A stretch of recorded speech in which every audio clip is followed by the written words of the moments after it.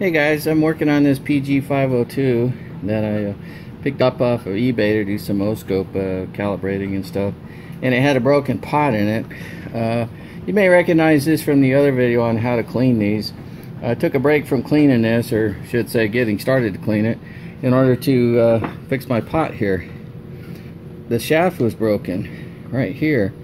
So some of you guys know that I have a lathe from some of the other videos I've done and I went ahead and I built one on it to replace this one. This one's actually brass and this one's made out of stainless steel. But what I figured I would do is uh, feed it through the the actual uh, little support piece in there. That's that's the uh, the kind of brownish and o-ring thing there. And this goes on the back side and then crimp that over. And if it doesn't crimp real good then because this is brass it'll uh, it'll take solder so that should really help. So I may just do both, solder and like some epoxy on it to get it to work good. And for you guys that are interested and have similar boat that may have uh, a lathe or something or something you can use to build one, here's all your measurements and things for that uh, particular item. And I'll let it let you know how it works out. My only real issue is I'm missing a snap ring right here. Uh, let me see if I can't get it out and show it to you. Alright, I've got it out here. Uh, this is what I'm missing here. These pieces, this one goes uh, right here. The washer goes next to it, and then the, in the bigger groove, let's see if I can't focus in there. The bigger groove right here is where the rubber goes. And that rubber is to make sure that this shaft doesn't turn while you turn the, uh, the inner shaft right here, which actually goes through it. This is a, a double ganged up pot, and maybe I can show you a picture of that in the inset or you know pause this video and I'll put a little picture in it and do some talking and then come back to this.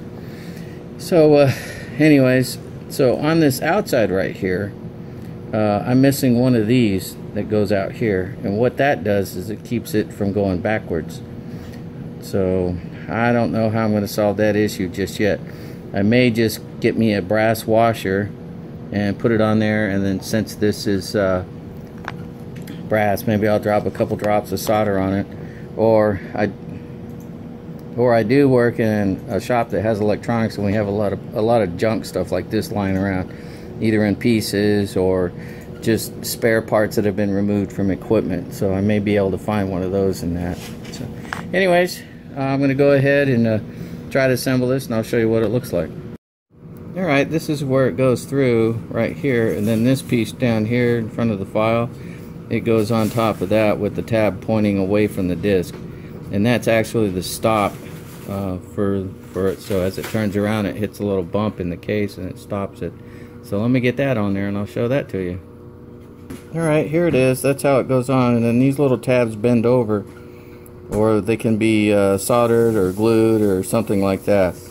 And then this uh, part right here the little tab sitting right there that goes as you turn it around it hits that bump right there. So anyway so let me see if I can't fix this on there somehow so it stays on. Alright guys. I went ahead and uh, installed the uh, shaft on the, little rotating disc here. And here's the actual uh, wiper for it right here. And what I did let's see if I can get in close is after I stuffed it through the hole, I just went ahead and bent it over.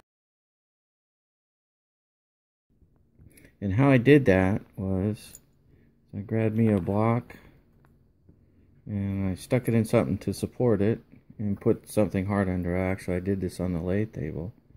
And then I took, took a ball bearing and I put it on top of it and then I just hit it, tapped it very gently uh, with my small ball peen hammer. It looks bigger in the video, trust me, it's, it's pretty small.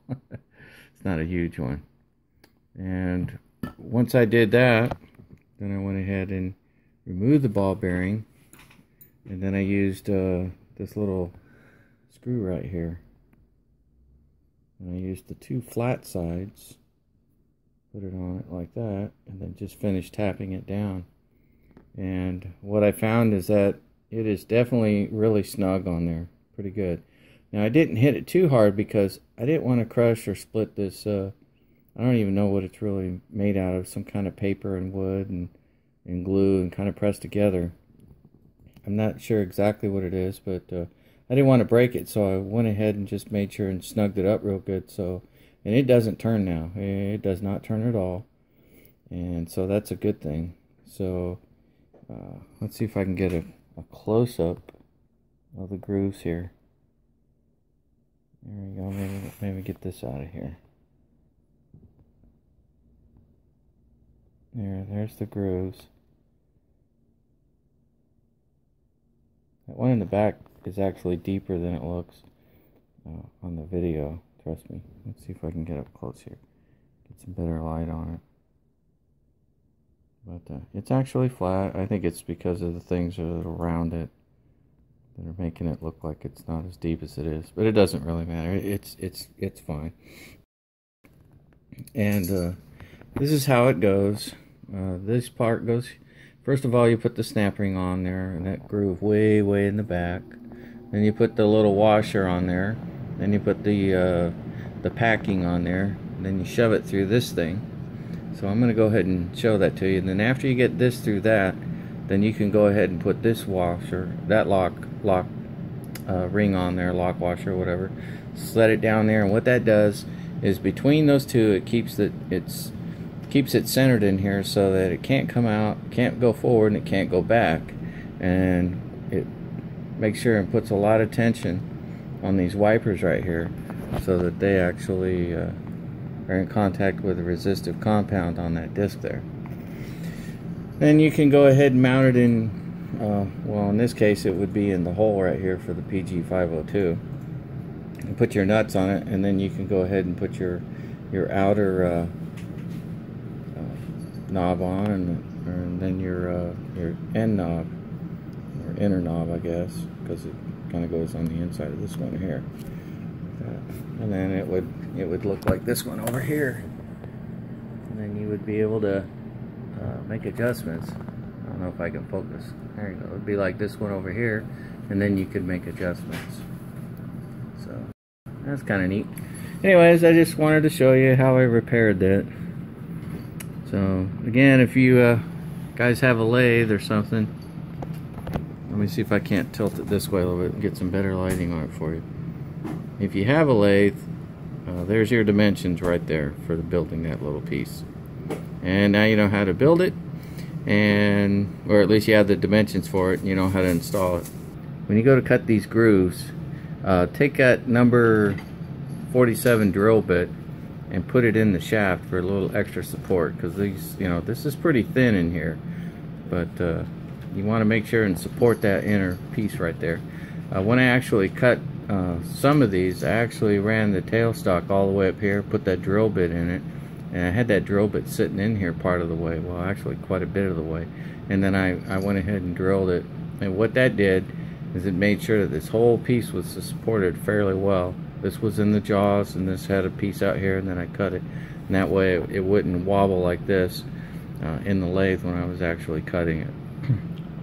So well that's a little bit of tip for you machinists there that might want to do it for you average guys well you might just have to go out and buy one of these and if you can't find one you know how to take them apart as long as this piece is good you could probably take the centerpiece out of another one that's a that's a double uh, ganged up resistor, uh, potentiometer, double potentiometer, and just change this piece out right here because the wiper and the disc and the shaft should be the same. The only difference would be this and the other wiper then. So, uh, how this is mounted to this, I didn't like it. I think I mentioned it once before. Is it looks like they just used some JB Weld to hold it together. I'm not sure exactly how they did it, but that's probably what I'm going to do. I'm going to go ahead and do that and put it back together because the knob and everything will hold it on. Alright, I've got that first uh, snap ring on there on the bottom down there. I'm going to go ahead and put the washer on. Uh, let's see if I can find it. Oh, here it is. And let me get that on there. Okay, there it goes. Come on, get all the way down. He likes to get hung up where the uh, O-ring goes. So you can see I got that on there now. So let's get this O-ring on there. Alright, so I got the O-ring on here. Let's go ahead and push it down. You have to push it past that first snap ring. And let's see, boom. Okay, it's in. Now what we have to do is we have to install this piece uh, through the wafer right here. And then install this, this snap ring uh, right there. So let's go ahead and do that. Oh, uh, before I put that little ring on there, uh, the missus walked over and uh, she kind of dropped this off over here for me. A little bit of strawberry shortcake and some ice cream and some goodies there. So I might have to take a quick pause and then get back to this. hold on a minute. Oh boy, hold on guys, almost done, alright? Oh man. I'm getting there. Hmm. Oh man. Only a couple bites left. Yeah. Might have to get some more then.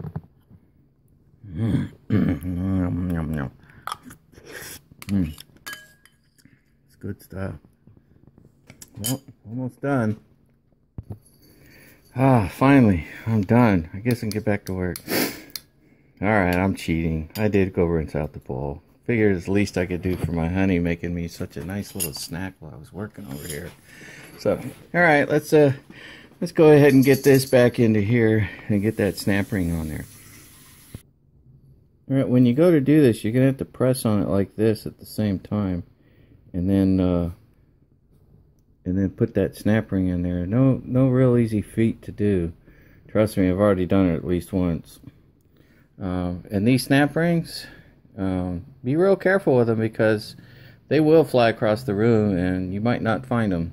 I was lucky I launched this the first time when I was at work during break and it hit the wall on the back of the solder bench and then rolled behind the cabinet about a foot back behind the cabinet to the right.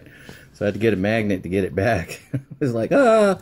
So uh, anyways let me get this on here and then uh, I'll show you what to do next.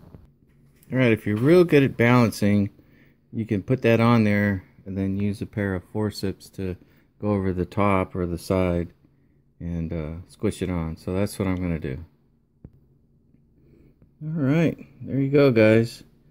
I just uh, kind of held it on here with my finger like this, then grabbed my forceps right there, and uh, came over the top. Let me set it down, maybe I can show you how I did it.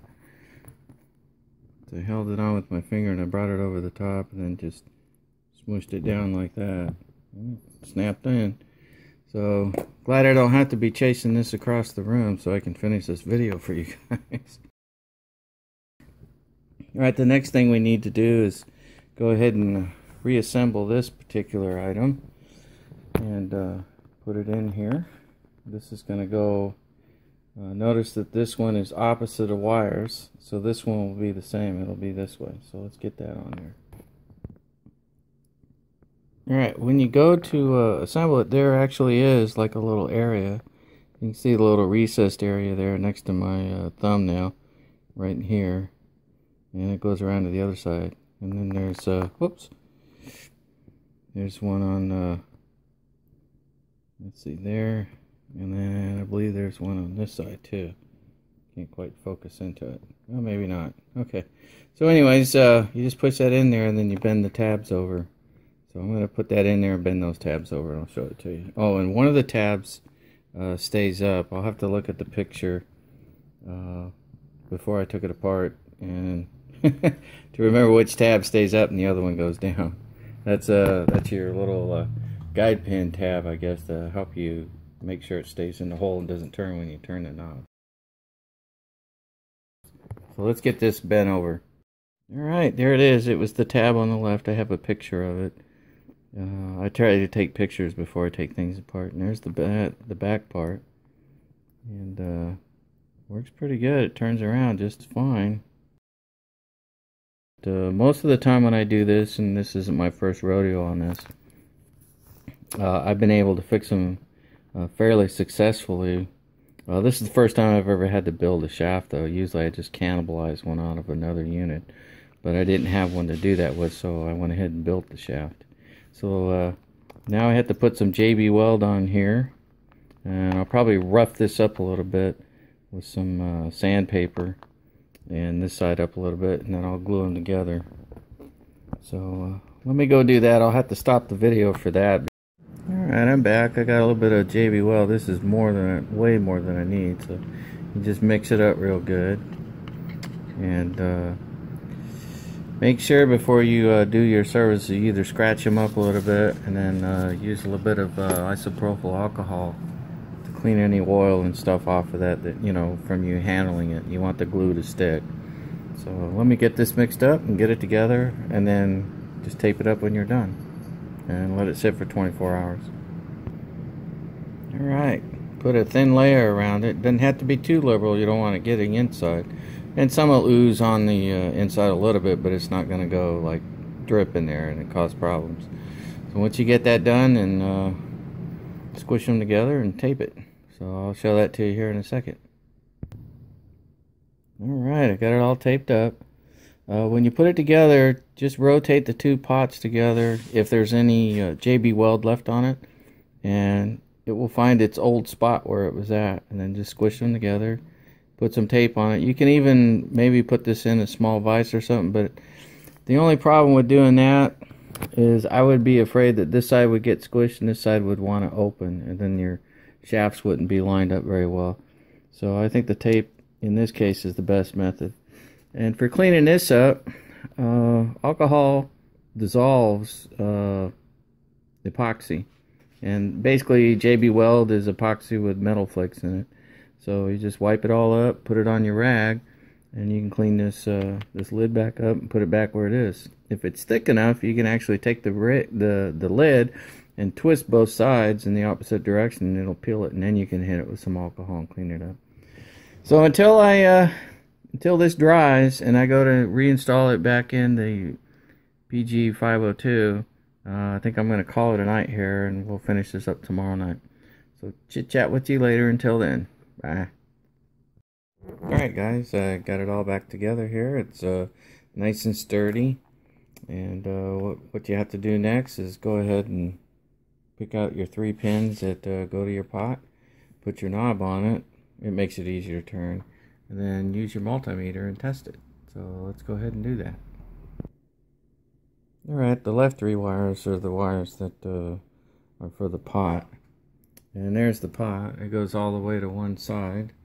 And that's it. And then as I go through the transition, it's really smooth now. No dead spots or anything. So let me uh, go do that. Uh, so fortunately, I don't have three hands, so I'll have to show it to you another way. Alright, I got an assistant. Yay. Okay, go ahead and turn that pot there. And as you can see, it's, it's fairly smooth no dead spots no opens nothing and it goes down to zero.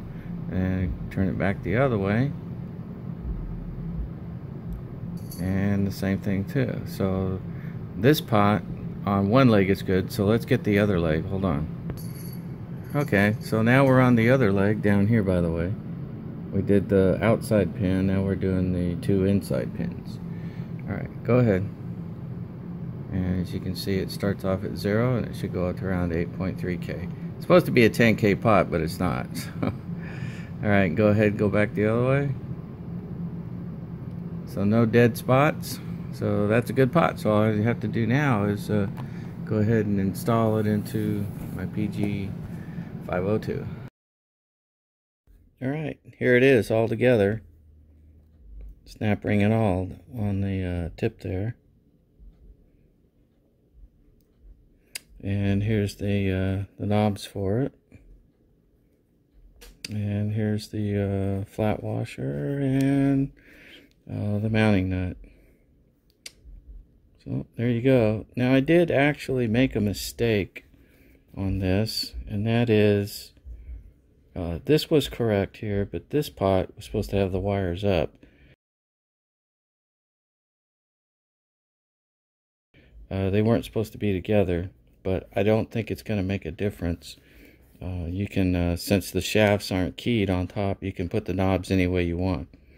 So I hope you guys enjoyed the video. Uh, thanks for watching, and uh, God bless you all, and Keith Noneya out. Bye.